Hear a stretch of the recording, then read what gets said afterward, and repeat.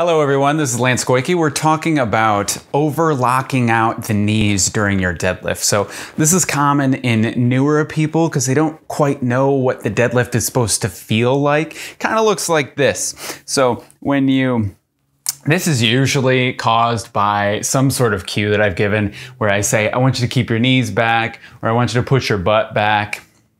People will do this you see how my legs are really straight like this. What that does is it kind of puts me on two little posts here and it minimizes the involvement of my hamstrings and my knees. So I do want the hamstrings to be used as uh, hip extensors, but I also want them to stabilize my knee. And they kind of lose leverage when I lock my knees out. And so this is a way to exercise. Like you can do it this way. You can purposefully deadlift with your knees locked out. But in general, I would consider that an accessory movement. I would not consider that the way to deadlift.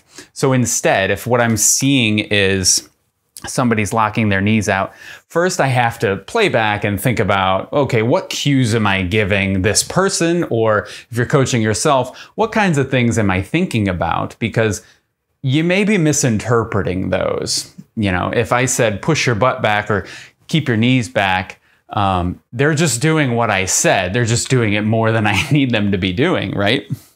So I just, you know, oftentimes I'll just say, uh, that's really good. You did exactly what I asked for. You're you're kind of setting a world record in knees back though. I don't need you to do it quite that much. Okay, that's just a good way for people to understand. Get a little laugh, you know, loosen up. Um, other things I might say keep your knees soft.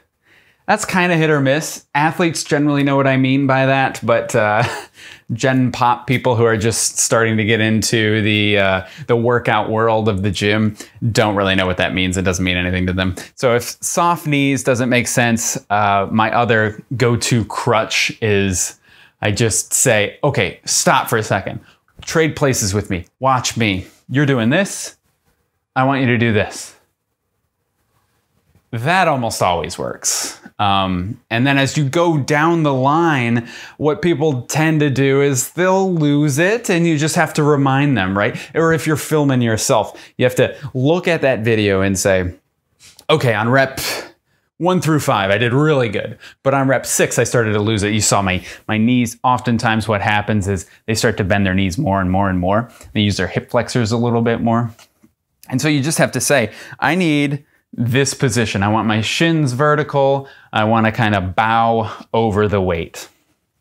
Those are principles if you are locking your knees out too far in the deadlift. Remember, you're losing your leverage if you do it that way. So if you're using it as a training tool, that's okay. But I want you to kind of avoid that if it's a um, normal kind of deadlift.